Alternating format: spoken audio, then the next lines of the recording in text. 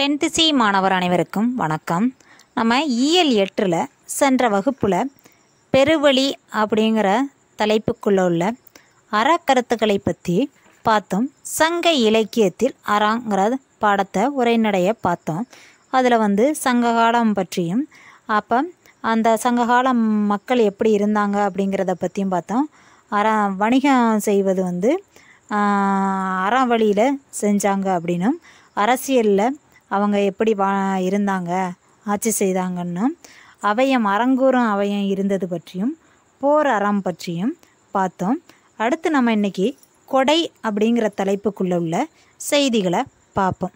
கொடை அப்படின்னா வீரத்தை போலேயே கொடையையும் தமிழர்களால் விரும்பப்பட்டது.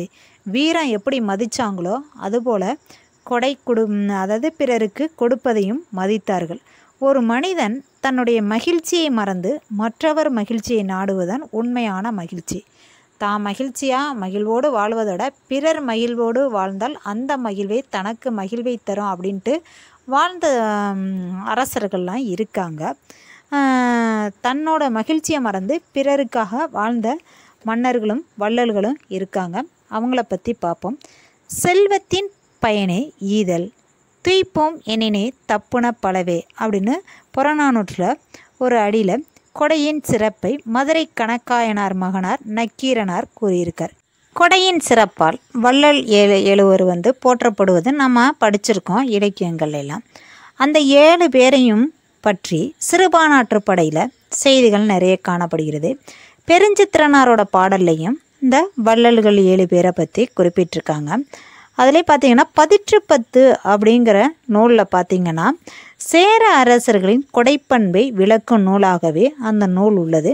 புறநானூற்று பாடல்கள்லையும் வந்து கொடையின் சிறப்பு எடுத்து சொல்லப்படுகிறது. அடுத்த பாராகிராஃபை கவனிங்க. பேஜ் நம்பர் நூற்றி எண்பத்தாறில் அரியணை என்று கருதாது தயங்காது கொடுத்தலும் ஈதலால் வரும் இழப்புக்கு வருந்தாமையும் நாள்தோறும் கொடுத்தலும் கொடை பெருமைகளாக பேசப்படுகின்றன. அரிய பொருளாக இருந்தாலும் அதை வந்து கொடுக்கறது தான் என்னது? கொடை சிறப்பு அப்படிங்கிறாங்க. அதியமான் வந்து தன் நண்பரான அவ்வைக்கு வந்து அரிய வகையான நெல்லிக்கனியை கொடுத்தாலும் தான் இறந்தாலும் தமிழை வளர்க்கக்கூடிய ஔவையார் நீண்ட நாள் வாழ்வார் அப்படிங்கிற ஒரு இதில் வந்து நட்பின் ரீதியாக கொடுத்தாரு அப்படிங்கிறத இதன் மூலம் நம்ம அறிந்து கொள்ளலாம். அடுத்து வந்து இல்லோர் உட்கள் தலைவன் பசிப்பினி மருத்துவன் என்றாலும் என்றெல்லாம் வந்து வள்ளல்களை போட்டுறாங்க பசியை போக்கக்கூடிய மருத்துவனாக விளங்கக்கூடியவனாக இருந்தான் அப்படிங்கிறது. வழங்குவதற்கு பொருள் உள்ளதா என்று கூட பார்க்காமல் கொடுக்கக்கூடியவனை பற்றி பிடவூர்கிளான் மகன் பெருஞ்சாத்தனாரை பற்றி நக்கீரர் பாராட்டுகிறார். அப்போ வழங்குவதற்கு பொருள் உள்ளதா இல்லையான்னு கூட பார்க்க மாட்டானா? யாருன்னா பிடவூர்கிளான் மகன் பெருஞ்சாத்தன். அவனை பற்றி நக்கீரர் வந்து பாராட்டி தன்னுடைய பாடலில் கூறியிருக்காரு. வள்ளலின் பொருள் இர இரவலனின் பொருள். வள்ளலின் வறுமை இரவலனின் வறுமை என்று பெரும்பதுமனார் குறிப்பிடுகிறார். வள்ளலோட பொருள் தான் இரவலனின் பொருளாக இருக்கும். வள்ளல் வறுமையாக இருந்தால் இரவலனும் வறுமையாக இருப்பான் அப்படின்னு சொல்லிட்டு பெரும்பதுமனார் வந்து தன்னுடைய பாடலில் குறிப்பிட்டிருக்கார். உலகமே வறுமையுற்றாலும் கொடுப்பவன் அதியன். எந்த உலகத்தில் யார் வறுமையுற்றாலும் அனைவருக்கும் சென்று கொடுக்கக்கூடியவனாய் இருந்தவன் தான் அதியன் என்கிறார் ஔவையார். இரவலர் வராவிட்டாலும் அவங்கள தேடி போய் வரவழைத்து கொடுக்கக்கூடியவன் யாருன்னா ஆடுகோட்பாட்டு சேரலாதன் அப்படிங்கிறவரை பற்றி நச்சல்லையார் கூறுகிறார். அப்போ இரவலர் யாருமே வாங்குறதுக்கு வரலன்னா கூட அவங்கள தேடி போய் கொடுக்கக்கூடிய வள்ளலாக யார் இருந்திருக்கானா? ஆடுகோட்பாட்டு சேரலாதன் அப்படிங்கிற ஒரு மன்னன் இருந்திருக்கான். அதை பற்றி நச்சல்லையாருங்கிறவர் சொல்லியிருக்காரு. பேகன் வந்து மறுமையை நோக்கி கொடுக்காதவன். இன்மையில் செஞ்சால் மறுமையில் வரும் நமக்கு நன்மை கிடைக்குங்கிறதை எண்ணாமல் கொடுக்கக்கூடியவனாக பேகன் இருந்திருக்கிறான்னு பரணர் சொல்லியிருக்காரு.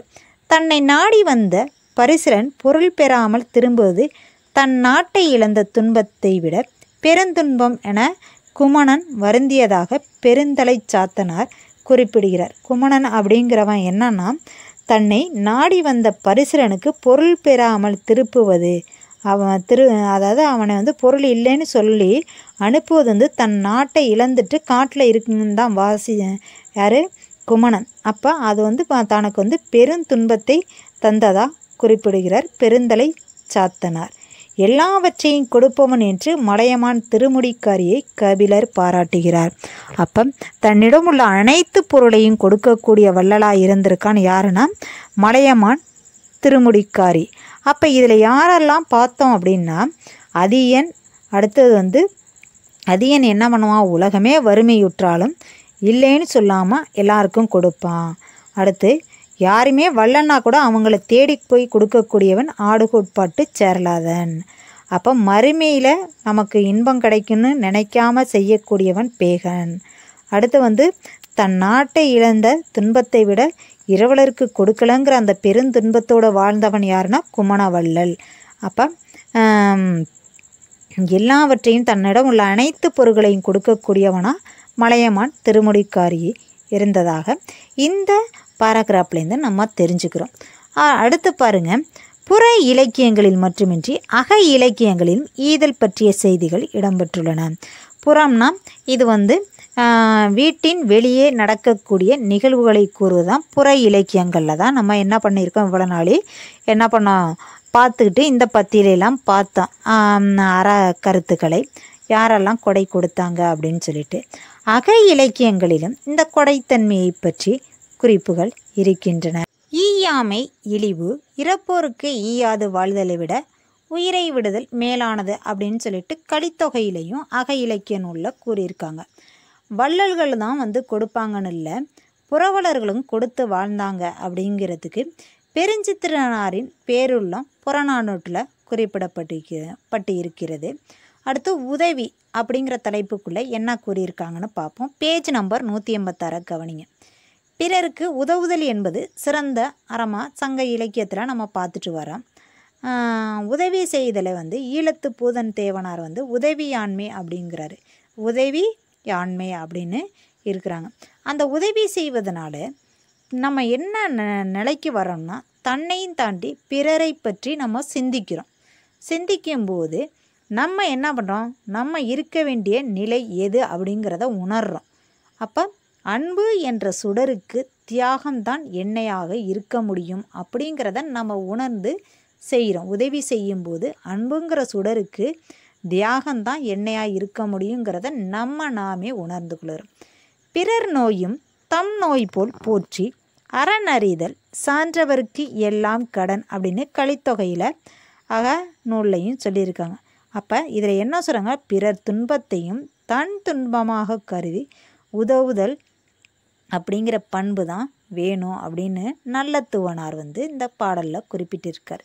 உண்மையான செல்வம் அப்படின்னு நம்மகிட்ட எது இருக்கும்னா பிறருக்கு உதவி செஞ்சோம்னா அதுதான் பிறர் துன்பம் தீர்ப்பது தான் உண்மையான செல்வமாகும். சான்றோர் செல்வம் என்பது சேர்ந்தோர் புன்கண் அஞ்சும் பண்பின் மென்கண் செல்வம் செல்வம் என்பதுவே. அப்போ உண்மையான செல்வம் என்பது யார் துன்பப்படுறாங்களோ புண்கண்ணா துன்பப்படுறாங்களோ அவங்கள்ட்ட என்ன பண்ணணும்? அவங்களோட துன்பத்தை தீர்ப்பது தான் அப்படின்னு சொல்கிறாங்க இந்த வரியில். உறவினர் கெட வாழ்பவனின் பொலிவு அழியும் என்று பெருங்கடுங்கோ குறிப்பிடுகிறார். அப்போ உறவினர் கெட் ஒருத்தவங்க துன்பத்தில் இருக்காங்க அப்படின்னா அதை பார்த்துட்டு நம்ம இருந்தோம்னா நம்மளோட பொழிவும் நம்மளோட வாழ்வும் அழியும் அப்படின்னுட்டு பெருங்கடுங்கோ குறிப்பிடுகிறார். இந்த செல்வம் என்பது சிந்தையின் நிறைவு என்கிறது தமிழ் இலக்கியம். சீன நாட்டு தாவவியம் என்ன சொல்லுதுன்னா உடல் உறுப்புகள் வந்து ஒன்றுக்கொன்று நம்மளோட உடம்புல உதவி கொண்டு தான் இருக்குது அப்போ இரத் ரத்தத்தை வந்து இதயம் வந்து செலுத்துகிறது. அப்போ தனக்குன்னு வைத்து கொண்டால் நம்மளால் வாழ முடியாது. இறப்பையும் உணவை வந்து நம்ம சாப்பிட்ற உணவை வந்து தானே வைத்து கொண்டால் நம்ம என்னாவது? அப்போ அதுபோல தான் மனிதனும் எனது சமூக உறுப்புகளாக இருக்கின்றான். அப்போ அந்த சமூக உறுப்புகளாக இருக்கக்கூடிய அந்த மனிதர்கள் வந்து ஒருவருக்கொருவர் உதவி செய்து வாழ வேண்டும். பிறருக்கு உதவாமல் மனிதத்திற்கு கொடும்பாவி கட்டுவதுங்கிறது சங்க இலக்கியங்களில் இல்லை. அடுத்து லாஸ்ட் பேராகிராஃபாக பாருங்க. வாய்மை. வாய்மை அப்படின்னா உண்மை. அப்போ உண்மை பேசுவது தான் சிறந்த அறமாக கருதப்பட்டுச்சு. வாய்மை குறித்து திருவள்ளுவரே ஒரு அதிகாரத்தில் பத்து குரல் கொடுத்துருக்காரு. வாய்மை எனப்படுவது யாதனின் யாதென்றும் தீமை இல்லாத சொல்லல் அப்படின்னு கொடுத்துருக்காங்க. வாய்மைங்கிறது சிறந்த அருதா அறமாக சங்க இலக்கியங்களை காட்டுகிறது. அப்போ ஒரு நம்மளுடைய அந்த உண்மை பேசுவதுங்கிறது நம்மளுடைய நாக்கு தான் அப்போ பொய்யா சென்னா பொய்ப்படு பெரியா பயங்கு சென்னா அப்படின்னு இலக்கியம் கூறுது. அப்படின்னா என்ன? நாக்குங்கிறது ஒரு அதிசய திறவுகோல் அப்போ அது வந்து இன்பத்தின் கதவை திறக்கக்கூடியதும் அந்த நாக்கு தான் அதே நாக்கு வந்து துன்பத்தோட கதவையும் நமக்கு திறந்துவிடும். எப்படின்னா நான் உண்மை மெய் பேசினோம்னா உண்மை பேசினோம்னா நம்மளை உயர்த்தும். அதே பொய் பேசினோம்னா நம்மளை தாழ்த்திடும் இதைத்தான் நற்றிணையில் வந்து பிழையா நன்மொழி அப்படின்னு என்னது வாய்மை உண்மை பேசினா சொல்லிட்டு அதே பொய் பேசினா கொடுஞ்சொல் என்றும் குறிப்பிடுறாங்க.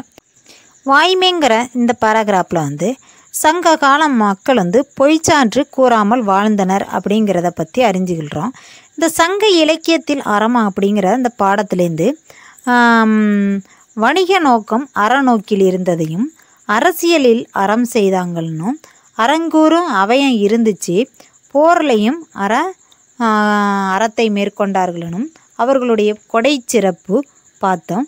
மன்னர் சங்க கால மக்களுடைய அவங்களுடைய உதவி செய்யும் மனப்பான்மையும் வாய்மை அப்படிங்கிறதும் எவ்வாறு இருந்துச்சுன்னு பார்த்தோம். இதுலேருந்து என்ன தெரிஞ்சுக்கிறோன்னா சங்க இலக்கியங்கள் காட்டும் அறங்கள் ஒரு மனிதனை தனியாகவும் சமூக உறுப்பினனாகவும் இயங்குவதற்கு அல்லது பண்பு நலனை உருவாக்குவதற்கு உதவும் விதிமுறைகளை நமக்கு வகுத்து கொடுக்கிறது. அப்போ சங்க இலக்கிய அறங்கிறது நம்மளை என்னது நல்ல பண்புள்ளவனாக உருவாக்குவதற்கும் விதிமுறைகளை கற்றுக் கொடுக்குதுன்னு சொல்லலாம். நான் இதில் வந்து என்ன தெரிஞ்சுக்கலாம்? நாம் சிந்திக்காமல் பிறர் சொல்ல அறியும் அறங்கிறது மூன்றாம் தரமானது. நம்மளே சிந்திக்காமல் பிறர் சொல்ல கேட்டு நம்ம தெரிஞ்சுக்கிறதுங்கிறது மூன்றாம் தரமான அறம்.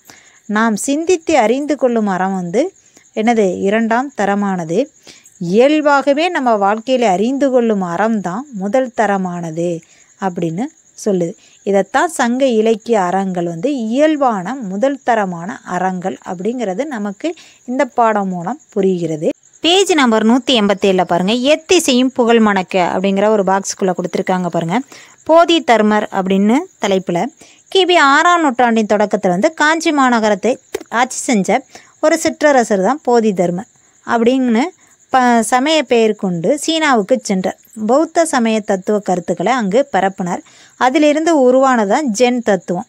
இது பின்னர் ஜப்பான் முதலிய நாடுகளுக்கும் பரவியது. அங்கும் நல்லா வளர்ச்சி அடைந்தது. போதி தர்மருக்கு வந்து சீனர்கள் வந்து கோவில் ஒன்று கட்டி சிலையாக வைத்து இன்றளவும் வந்து வணங்கி வருவதுங்கிறது குறிப்பிடத்தக்கது.